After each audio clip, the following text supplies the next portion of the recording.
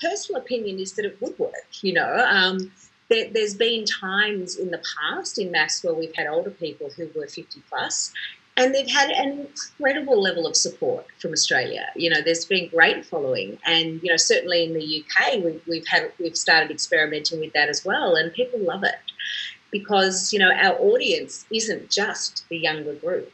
You know, there there are it's a, it's a much broader group. Um, oh, let's get an older bachelor or bachelorette. Absolutely, let's get a few grey hairs in there. It's sexy, man.